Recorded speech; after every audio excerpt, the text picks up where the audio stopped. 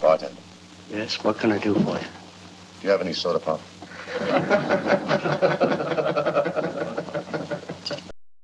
I see a cultist has made a video and uploaded it. Contrarian atheist and militant non-believers. I have not looked at the video. I thought we would share it for the first time together. As for militant non-believers, I have no idea. I guess I lack belief in the gods, therefore I just have to go in camping. Kayaking. I have no idea. Let's find out. Hey guys, Christian J over at 146. Thanks for watching. So today I want to talk about contrarian atheists and non-believers. atheists and non-believers as if the two are different okay let's see what you got So these are some individuals that I've run into in my life. And actually I've actually been some of these individuals to certain extents when I was a non-believer. And so these are you have been some of these individuals to some extent. Like the compassionate martian in ray bradbury's the uh, martian chronicles. You have been some of these individuals.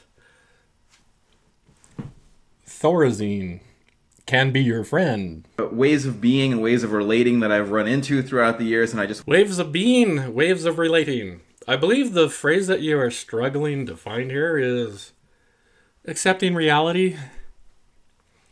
Reality! Batshit crazy imagination. Atheist.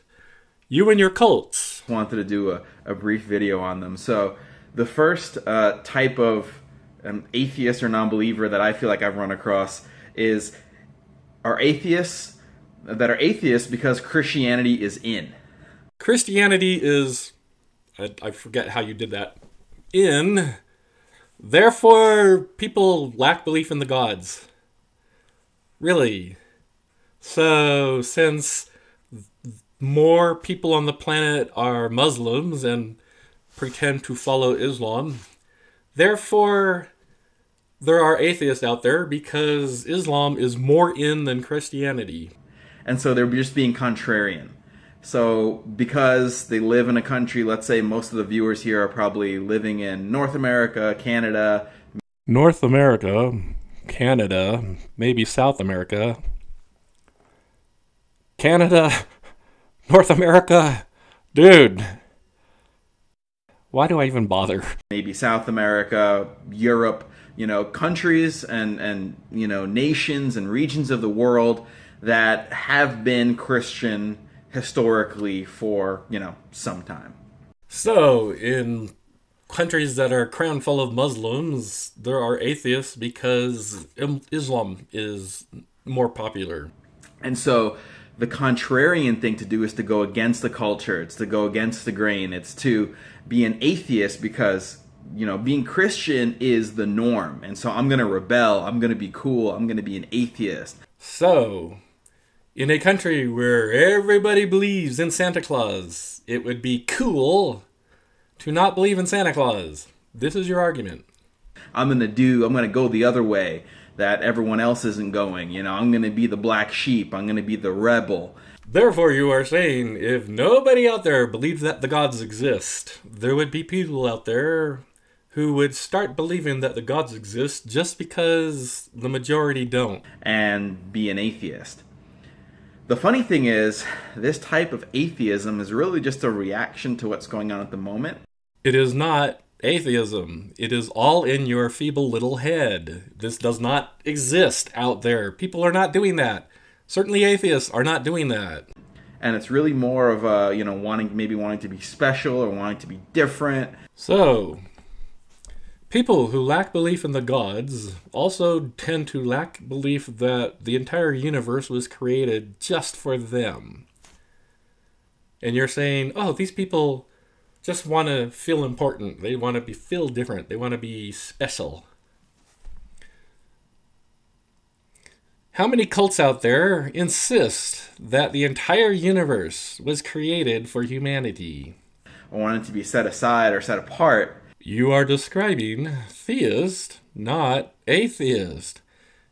Number two, the second kind of atheism that I've run across is an There is only one kind of atheist out there a person who lacks belief that the gods exist. atheism that takes that position because again this is relating to growing up in a country where christianity is the norm or a lot, at least many many people are christian it's a tendency to think that the fact that christianity is the answer is just too easy Christianity is just too easy. Which is why, by the way, it exists. People who lack belief in the gods, i.e., atheists, have absolutely nothing at all to do with your cult at all.